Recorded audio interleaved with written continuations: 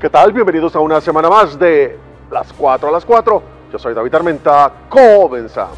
que es muy importante que no minimicemos ningún eh, pues peligro, que no, si no tenemos a qué salir, pues que mejor permanezcamos en casa y pues identificar por supuesto las zonas de alto riesgo, tenemos los refugios temporales, estamos preparadas, estamos preparados.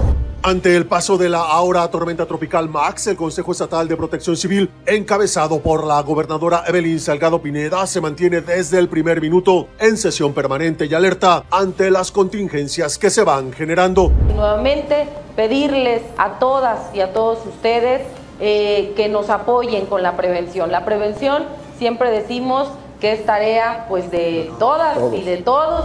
Además, esta mañana durante la mesa de coordinación para la construcción de paz, la mandataria precisó que en equipo con la federación y municipios han reforzado los trabajos de prevención, precaución y coordinación, procurando en todo momento salvaguardar la integridad de las familias guerrerenses. Estamos listos, estamos preparados ante cualquier escenario y atendiendo puntualmente esta contingencia con absoluta coordinación. Con la participación de 46 jóvenes de las ocho regiones, la Secretaría de la Juventud realizó el Parlamento Juvenil desde la tribuna del Congreso local, abordando temas como la representación política de los pueblos originarios y afromexicanos, seguridad social, atención y erradicación de adicciones, derecho a la educación, sexuales y reproductivos, derechos culturales y derechos de las personas jóvenes con discapacidad.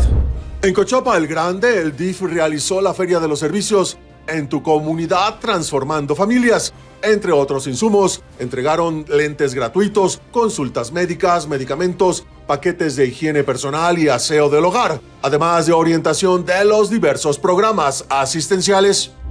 Y recuerde, el fenómeno meteorológico Max tocó tierra desde mediodía en Petatlán, generando lluvias intensas y fuertes rachas de viento en los municipios de la Costa Grande. Por ello, no cruce ríos y arroyos, no entre a playas, permanezca en un lugar seguro, no toque postes, cajas de luz o cables, asegure objetos que puedan volarse y no saque la basura. En caso de emergencia, llame al 911.